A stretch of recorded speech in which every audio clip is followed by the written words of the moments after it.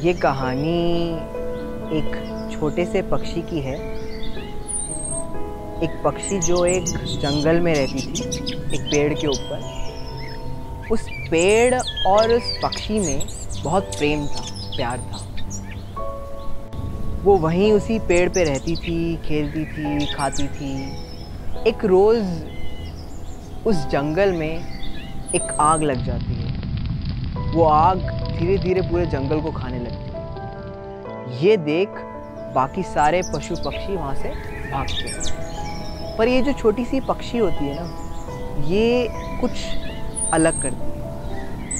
ये जाती है एक पास के तालाब में, अपने पंखों को भिगोती है, वापस आती है, फड़फड़ाती है और पानी की कुछ दो चार बूंदे उस पेड़ पे गिराती है।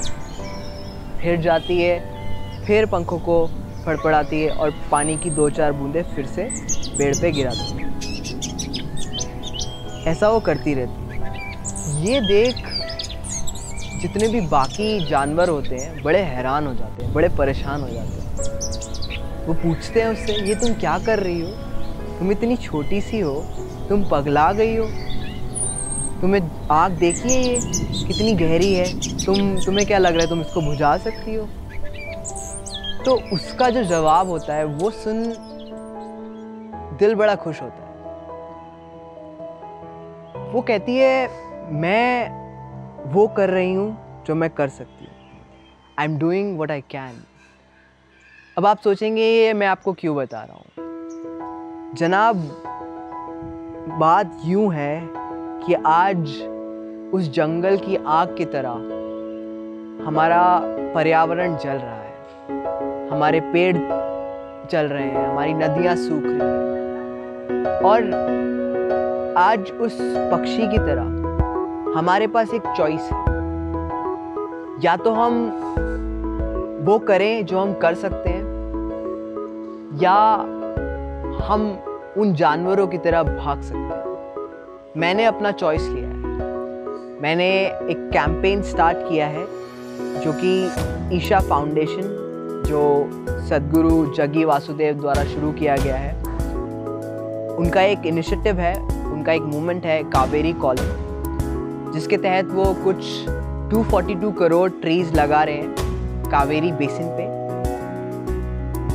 मैंने, मेरा जो कैंपेन है, मैं उसके थ्रू उनका सपोर्ट कर रहा हूँ। और मैं चाहता हूँ कि आप सब मेरे इस कैंपेन में मेरी हेल्प करें। इसका लिंक मैं आपको नीचे दे दूँगा, जिसके थ्रू आप इस कैंपेन को सपोर्ट कर सकते हैं। आप चाहे एक पेड़ लगाएँ या दस या दस हज़ार, एक पेड़ या एक सैपलिंग की कॉस्ट फोर्टी टू रुपीज़ है। अब आप सबके मन में कुछ सवाल हो सकते हैं। ये 42 नंबर क्यों? 242 करोड़ ट्रीज क्यों लगने चाहिए? ये सारा प्रोसेस कितना ट्रांसपेरेंट है? ये सारे पेड़ कब तक लगेंगे? इन सारे सवालों की जानकारी मैं नीचे डिस्क्रिप्शन बॉक्स में डाल दूँगा। आप उसे देखें, समझें। अगर इसके बाद भी आपको लगता है कुछ आपके मन में सवाल है तो आप मेरी ईमेल आईडी जो कि नीचे मेंशन होगी, उस पर लिखें और मैं जितना जल्दी हो सकता है आप तक पहुंचूँगा।